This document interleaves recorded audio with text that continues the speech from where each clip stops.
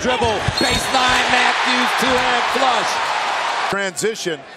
Trice comes in, but to Charles Matthews, and this is the guy they got to get going. They got to figure out a way with Charles Matthews, who's been struggling the last six games, only shooting 31%.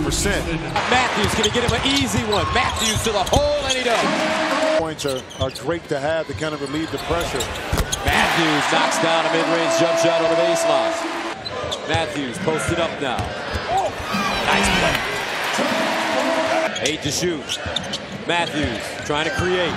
Baseline turnaround, Jay. Bring it up. Matthews step back, 15 footer, pure. Matthews again down the lane. Hey! Young fella! Don't hurt him! Blows. Matthews, baseline. Pure! Shelley. Four to shoot. Matthews down the lane on the fade. Got it!